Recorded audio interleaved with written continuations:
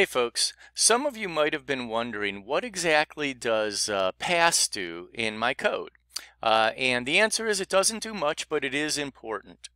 Uh, it turns out that um, if you have a function definition and you don't have any code written for it, you get an error message. So pass is like a placeholder.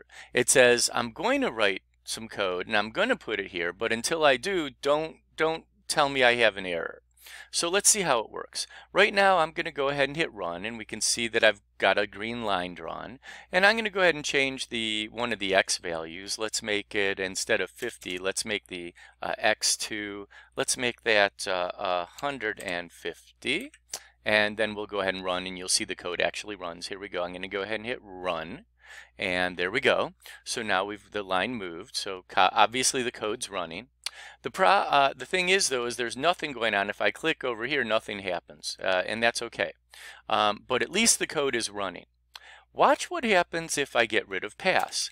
And all I have is this function definition, but I've got no actual running code beneath it let's go ahead and uh, let's see what happens here. Uh, I'm going to go ahead and uh, again I'm going to change this to 200 and let's see what happens if I run the code.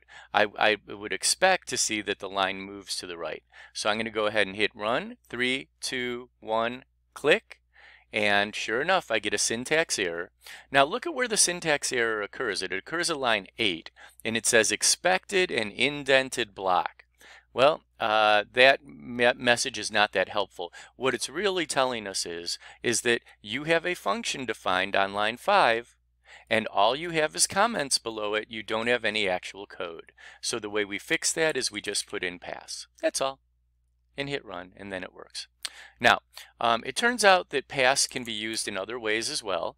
Uh, if you have not yet learned about something called the if con conditional statement, uh, uh, we might have something like, uh, we might set a variable, uh, like today's a great day, so let it be true. And we might want to test to see whether that variable is true all the time or not. So we might say if great day uh, equal equal true. And again, when you learn more about ifs, you'll learn more about why it's equal equal. Uh, if great day equal equal true, then do something.